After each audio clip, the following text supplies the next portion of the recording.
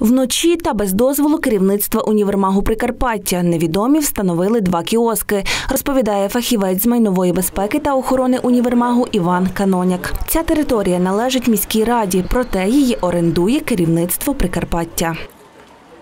По вказівці керівництва була викликана поліція. О, е, поліція склала заяву про даний факт встановлення незаконно мапів.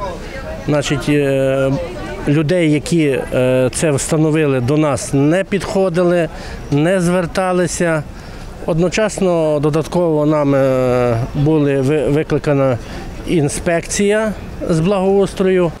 Невідомі встановили мафи 24 липня, проте досі їх не демонтували. Підприємці універмагу зібрали підписи та вимагають у міського голови прибрати кіоски. Не подобаються мафи і пані Ірині. Мені не подобається, бо розумієте, е, загальний вигляд псується цієї площі. Це зайве, мені здається. Що б ви хотіли? Я б хотіла, щоб більше було простору, щоб були ларки однакові, щоб вони гармонічно, знаєте, вписувалися. Член виконкому Олексій Петечел розповідає, що первинна документація є до кожного рішення, яке розглядає виконавчий комітет. Проте перед розглядом не додається до проекту рішення. Але якщо доповідач каже, що зауважень немає і все погоджено, то ні в кого з членів виконкому може і не виникнути питань, і вони проголосують за. Дивіться, я знову ж таки підняв той проект рішення, е, не вже не проект, вже рішення, яке було опубліковане, то ну воно е, очевидно, що воно відрізняється від того, що фактично було зроблено. Так? Тому що в проєкті рішення є дозвіл на дозвіл на один МАФ, і другий е, це є продовження з зміною зовнішнього вигляду.